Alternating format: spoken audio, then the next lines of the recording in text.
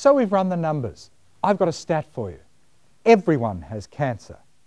Everyone. But nature's smart, and that's why we don't all die of cancer. We need to look into Well, to do something about it, we have to ask some questions. And the question we have to ask is what is the biggest lie in medicine? We've already got the answer. Now we come to our next question.